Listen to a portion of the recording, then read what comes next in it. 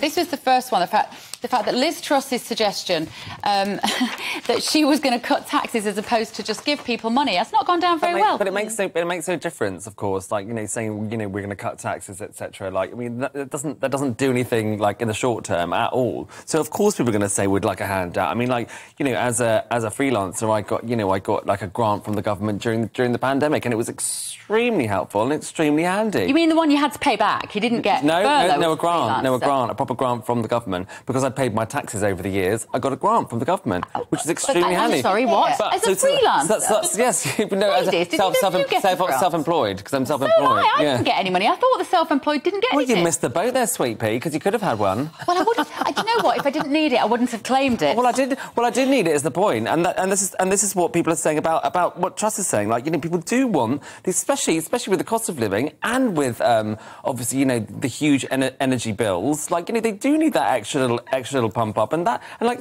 you know It's changing the extra tax. little pump up. Bills are going to soar over five thousand pounds. Families Yeah. cannot afford Yeah. this stuff. The point about the tax cuts is it's not going to help Exactly. most of those poorer families. Yeah. It's not going to help individuals on lower incomes. Forty Mm, percent of people will not be helped by those tax cuts that Yeah. she proposes. Is that what That's this is, They're asking for handouts. They're asking for direct help.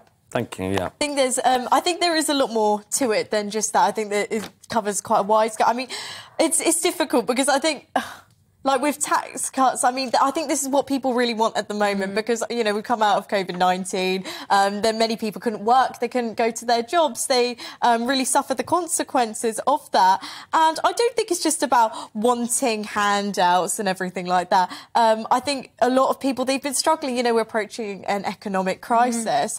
And I think tax cuts would be really, you know, they would help a lot of British people, especially The when taxes ethos. the highest The level of 70 isn't years. But I, I know what you're saying, Emma, though, about the fact that tax cuts might help the wealthy, but they won't help those who They will not help not those benefit people from who that. are struggling. And you say there's an economic crisis hmm. coming. It's right. It's here. They Yeah, need. it is they, right now. Yeah. Yeah. People's incomes are not going hmm. up. It's going to get hmm. worse. Food prices, Yeah. I'm sure you've noticed, are Yeah. absolutely soaring. Crazy. Right now it's August and we don't have the heating on, but Yeah. you wait until October Yeah. when we all have the heating, when we Yeah. have to put the heating on.